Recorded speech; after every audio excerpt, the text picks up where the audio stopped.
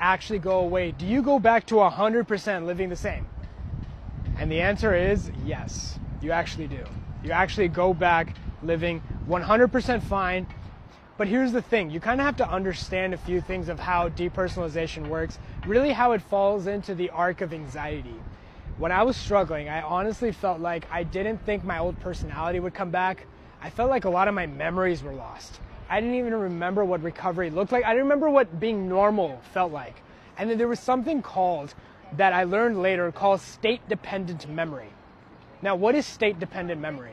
State dependent memory is this idea that depending on your state, certain memories are more accessible to you than not. And it's actually true. In fact, when I'm helping people overcome their anxiety and go back to living without any of these residual symptoms being there, one of the things I can ask them right away is, How do you feel right now? And if they don't feel good right now, let's say their anxiety is high, and you know it's been a hard time, they're having a hard time allowing it to be there. Well, then what happens at that moment is that it they start thinking about all the negative things in the past.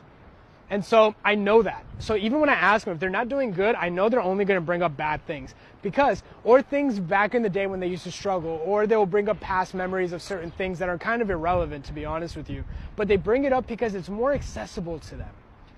And so if somebody's doing really well, well, you know, when people start doing well, they're like, oh, okay, well, I can see the light at the end of the tunnel. I can feel good. Okay, maybe I can get out of this.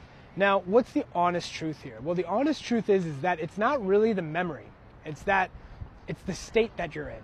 State determines what memory you're in. So that was very critical for my recovery journey because I understood finally, well, I'm struggling with this. The reason why I can't really remember the good days is because I was I was in a bad state right now. So I only remember the bad stuff.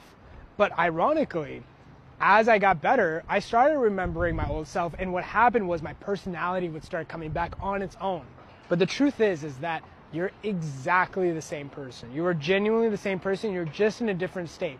Put anybody in your situation, they would experience the exact same thing. So it's really about understanding what's happening and recognizing that these thoughts of, will I ever go back to normal? Will it be 100%? Well, how do I know? You're projecting too much in the future, and really, it's not about you overcoming anxiety, but that is the anxiety. You asking questions, is this, am I ever going to come out of this? Am I ever going to be 100%? How do I know if? That is the anxiety. That is, that is the derails, that is what, that is that response that you're experiencing.